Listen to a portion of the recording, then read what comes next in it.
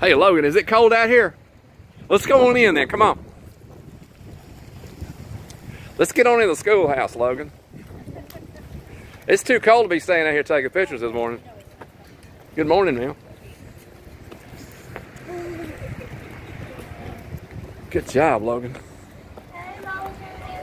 Say good morning. He's get on in there, boy. Say thank you. So handsome. Thank you.